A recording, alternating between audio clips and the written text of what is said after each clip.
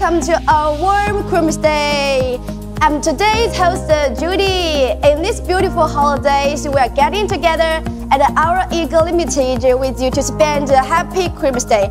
Welcome these happy holidays. Are you ready? Get it. Let's